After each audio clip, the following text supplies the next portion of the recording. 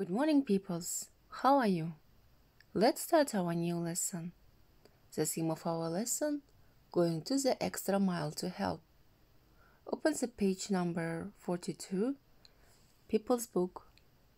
Read the quote. What message does it convey? My hope is to make people realize they are capable of much more than they think. Katie Spotz. Its message is for people to believe in themselves and feel confident enough to try new things. The new words. Ankle, assistance, awareness, charity, determination, feet, get stung, honor, incredible, inspiration, objective, overcome obstacles, persist, poverty, row, solo, spotlight. Now, let's continue our lesson. How is the quote related to the text? Listen and read to find out.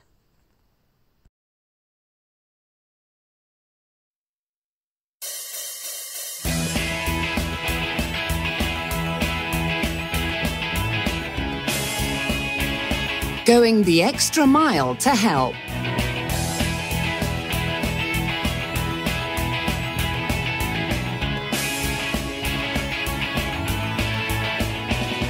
Sometimes people are kinder and more generous than we can ever imagine.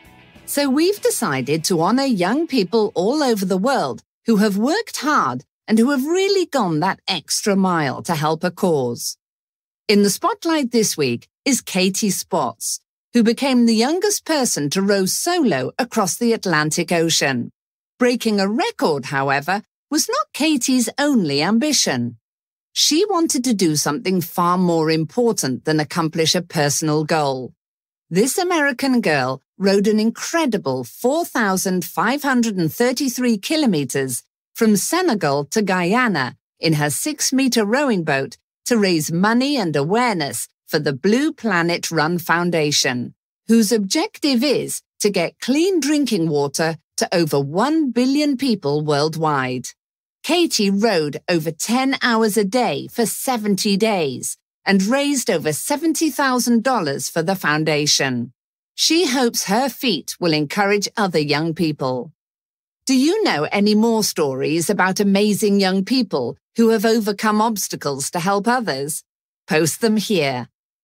Post your comment. Wow! Katie really deserves our respect. I know of another person who did something physically difficult to help a charity.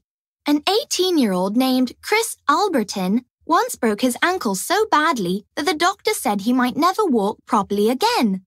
Amazingly, he climbed 6,000 meters to the top of Mount Kilimanjaro, Africa's highest mountain. He did it with 59 other students, and together they raised a total of £138,000 for Childreach International a charity that helps children and their families who live in poverty. Posted by Lizzie on the 3rd of the 10th. Both Katie and Chris are a true inspiration to everyone. Here in Lincoln, England, Luke Birch is a bit of a local hero. He swam 33 kilometers across the cold waters of the English Channel for charity. The scary thing is that he got stung by a jellyfish. Unfortunately, the rules of the charity event didn't allow him any assistance, so he kept swimming despite the pain of the sting. It must have been tough for him with the rough waters and windy conditions, but Luke persisted and arrived in France after 14 hours. Thanks to his determination, he raised £7,885 for Macmillan Cancer Support in the UK and Planting Promise, a charity that helps build schools in Sierra Leone. Luke really overcame obstacles to help people in need. Posted by Nate, the 7th of the 10th. Exercise 2. It's your homework. Read the text again and decide if the sentences are true or false. Now, watching the video. Going the extra mile to help. Do you enjoy a challenge? Are you interested in charity work? Can you climb a mountain or cycle thousands of miles to help people in need? Sometimes people are kinder and more generous than we can ever imagine. There are many young people around the world who deserve to be honoured.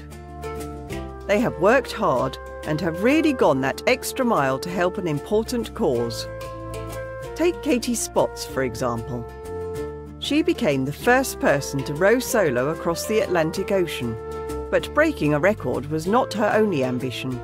She wasn't just interested in accomplishing a personal goal. My hope is to make people realise they're capable of much more than they think, Katie says. The 22 year old African girl rowed an incredible 4,533 kilometres from Senegal to Guyana in her 6 metre rowing boat. She did this to raise money and awareness for the Blue Planet Run Foundation. It is an organisation whose objective is to get clean drinking water to over 1 billion people worldwide. Katie rowed over 10 hours a day for 70 days and raised over $70,000 for the foundation. She hopes her feat will encourage other young people too. But Katie is not alone. There are other amazing young people out there who have overcome obstacles to help others. They have accomplished many physically difficult tasks to help a charity.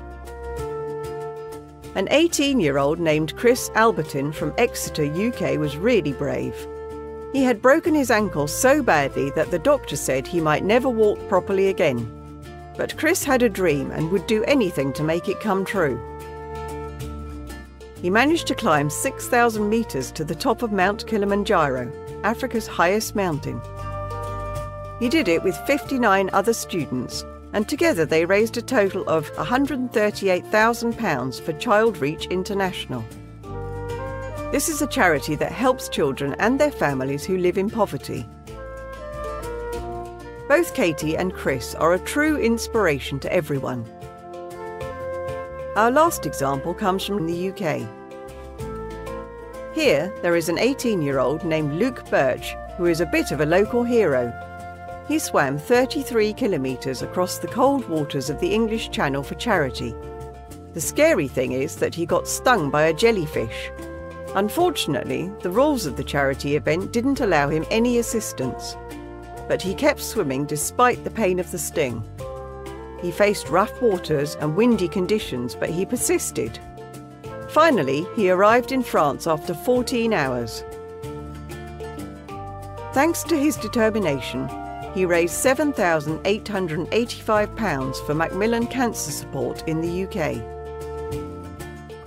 Some of the money also went to Planting Promise, a charity that helps build schools in Sierra Leone. Have you heard any other stories about people like Katie or Luke? Why do you think charity work is important?